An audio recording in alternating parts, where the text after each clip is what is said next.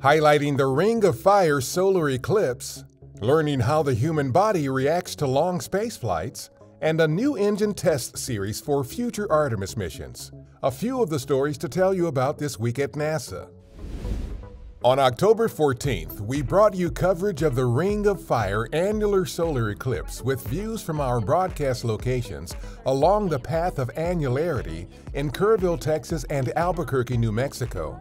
In addition to viewing opportunities, the eclipse provided unique opportunities for science, which included NASA sounding rockets launching scientific instruments to study the effects of the eclipse on the atmosphere.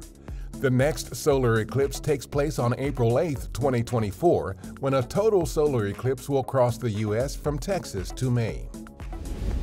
Aboard the International Space Station, NASA astronaut Loral O'Hara is participating in the CIPHER study to help us learn more about how the human body reacts to long-duration missions in space.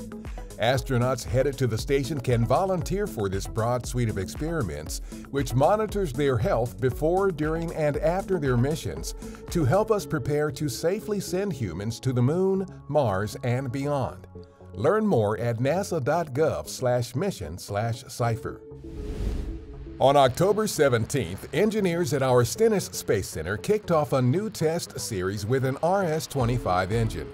This planned 12-test series is the final round of certification testing ahead of production of an updated set of the engines.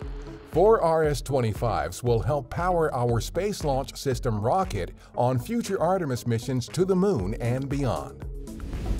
Researchers using our James Webb Space Telescope have detected evidence for quartz nanocrystals in the high-altitude clouds of WASP-17b, a hot Jupiter exoplanet 1,300 light-years from Earth.